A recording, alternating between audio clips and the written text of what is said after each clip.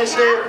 We take the multi multi powder, inside the air. Hi, my Eli. I'm a professional magician from Toledo, Ohio, and I love magic. I've been performing magic since I was 18 months old, and can't get enough of it. My dad's a professional magician, and he's tough to live with sometimes, but we love it.